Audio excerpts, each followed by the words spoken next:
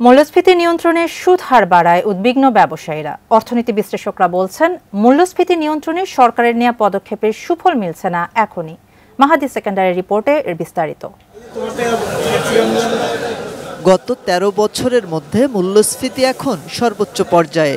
খাদ্য মূল্যস্ফীতি ছাড়িয়েছে চোদ্দ শতাংশ।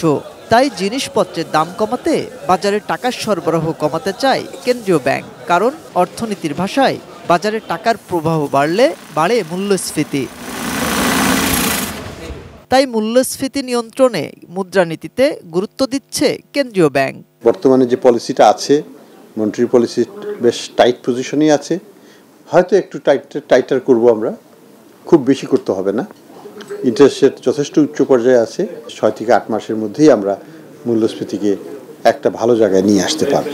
তাই এবার নীতি সুধার সাড়ে আট শতাংশ থেকে বাড়িয়ে করা হয়েছে নয় শতাংশ। ফলে এখন থেকে ব্যাংকগুলোর কেন্দ্রীয় ব্যাংক থেকে ঋণ নিতে হবে বাড়তি সুদে, যার প্রভাবে সুধার বাড়বে বাণিজ্যিক ব্যাংকের। ব্যবসায়ীরা বলছেন, সুদের হার এমনিতেই বেশি, আরও বাড়াই, কমে আসবে বিনিয়োগ। সরকারের প্রথম কাজটি হবে ব্যবসায়ীদেরকে প্রোটেক্ট করা, অর্থাৎ ব্যবসায়ীরা যেন ব্যবসা করতে পারে।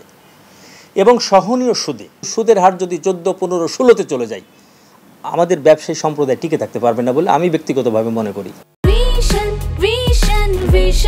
হান্ড্রেড পার্সেন্ট কপার কন্ডেন্সারে তৈরি ভিশন ফ্রিজ তাই গুণে মানে অটুট থাকে বছরের পর বছর। বিশ্লেষকরা বলছেন মূল্যস্ফীতি নিয়ন্ত্রণে সুধার বাড়ানোই একমাত্র সমাধান নয়। নামায় নিয়ে আসতে হলেও আমি যেটা বলছি যে আমরা আমাদেরকে যোগান বাড়াইতে গেলে যেটা করা দরকার সেই জায়গাটা আমরা যেতে পারছি না। অনেকে হয়তো ওই যে সাত দিন তিন মাস ছয় মাস এরকম বলে দেবে কিন্তু না। টাইম লাগবে এটা।